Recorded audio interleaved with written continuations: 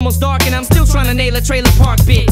I met a slut and said, What up? It's nice to meet ya. I like to treat you to a Faygo and a slice of pizza. But I'm broke as fuck and I don't get paid till the first of next month. But if you care to join me, I was about to roll this next blunt. But I ain't got no weed, no Phillies, or no papers. Plus,